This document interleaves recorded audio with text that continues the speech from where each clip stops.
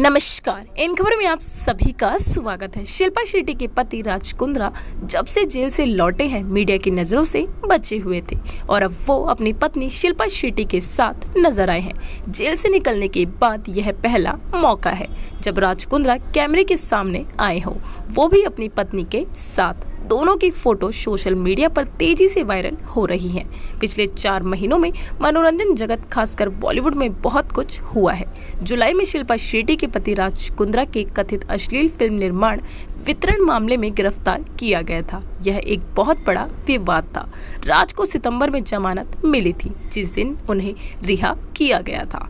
उस दिन वे निराश दिखे और तब से वे लो प्रोफ़ाइल ही बने रहे। यानी कि अब तक राज कुंद्रा की अभिनेत्री पत्नी शिल्पा शेट्टी कुंद्रा के साथ उनकी मंदिर यात्रा की तस्वीरें वायरल हो रही हैं। हिमाचल में ज्वालाजी देवी और माँ चामुंडा देवी मंदिर के दर्शन के लिए शिल्पा को राज का हाथ पकड़े देखा गया था। शिल्पा शेट्टी ने पति राज कुंद्रा के साथ हिमाचल प्रदेश की यात्रा के दौरान विभिन्न मंदिरों की तस्वीरें और वीडियो साझा किए।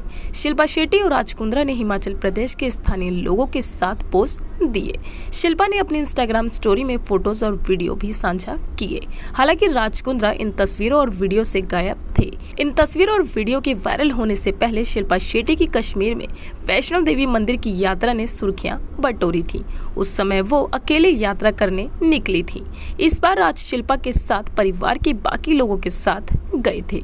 आपको बता दें, शिल्पा शेट्टी के पति पर अश्लील फ़िल्मों के फिल्मांकन व मोबाइल ऐप के ज़रिए ऑन एयर करने का मामला दर्ज है, जिसमें 60 दिनों तक राजकुंद्रा जेल में रही। राजकुंद्रा को 60 दिन बाद अदालत से जमानत मिली और जमानत मिलने के बाद अभिनेत्री शिल्पा शेट्टी पति के साथ देवभूमि में स्थित शक्ति पीठों पर माथा टेक कर आशीर्वाद ले रही हैं, ताकि इन सभी मामलों से राजकुंद्रा मुक्त हो जाए।